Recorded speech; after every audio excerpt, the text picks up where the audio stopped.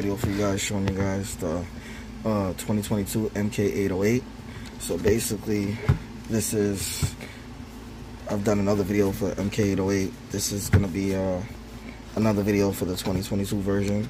This one, a vendor sent me, so I'm making a review on it. Alright, let me take this cover off and then catch back the video for you guys. Alright, the cover off. This is the Autel case. Okay, pop this off. Alright, so then it comes with the tool in front of me right here.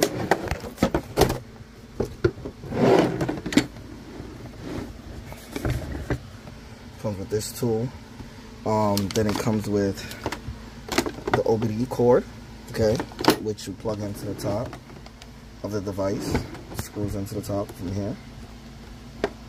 Okay. Then it has a memory card that you can use to put in the top here to get more memory. And it has the reference guide. Okay, and then the manual for the device. Alright, so I have a lot of experience using this tool, especially the older version. Okay, and uh, I'm gonna kind of go over how things usually work for this tool or how it works. Um, there's a couple things that I didn't go over. I'm gonna power it on, which is already on. Okay.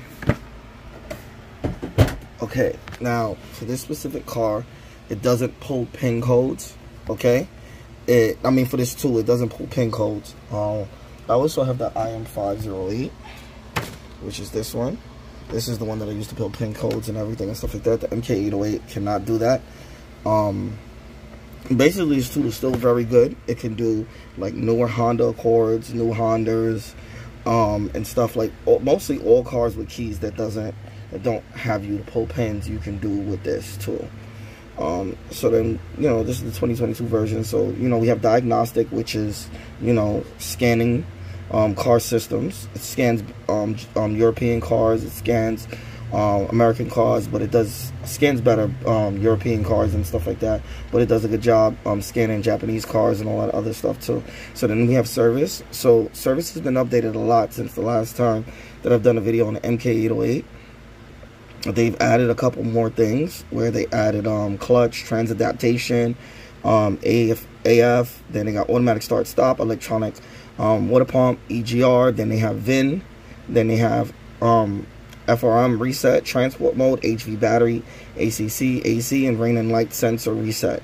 These are all new options that they never had before. These are all new options that they that they have now. So basically what Shop Manager is, is basically you can go to vehicle history, like vehicles that you've scanned and stuff like that, and it'll show you um, basically, like I said, it'll go to vehicle history and um, basically can go to a car or whatever, just say it's a BMW that I scanned and all of these codes popped up for this vehicle. So as you can see, it's really good.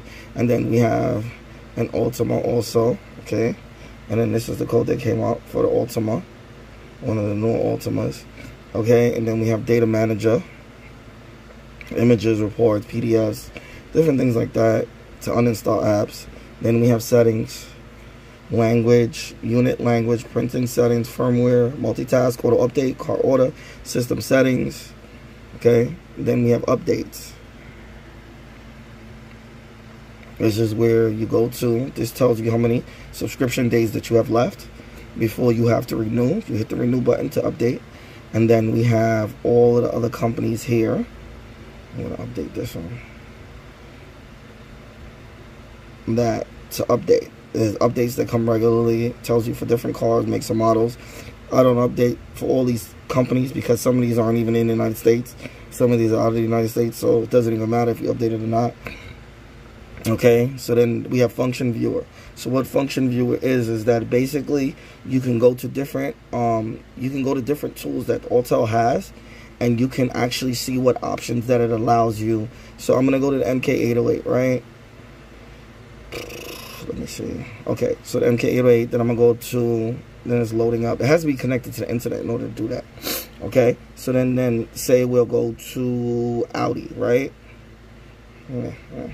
I don't think this one does Audi, this tool.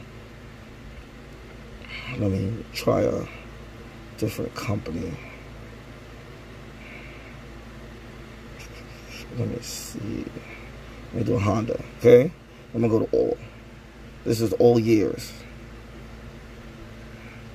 So it shows me what years Honda. So let me go to CRV, CRZ.